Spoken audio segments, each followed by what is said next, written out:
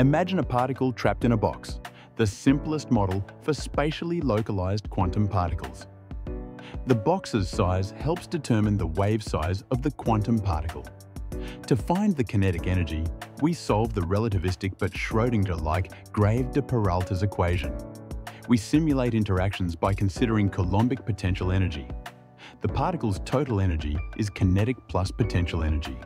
The stable size of the particle is where total energy is minimized.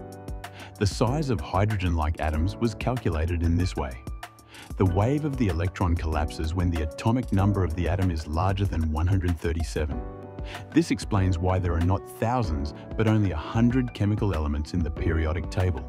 This book presents relativistic quantum mechanics, but based on Schrödinger-like fully relativistic Grave de Peralta's equations. Prof. Grave de Peralta invites you to visit his websites at YouTube, X, TikTok, and Facebook. And please always think by yourself.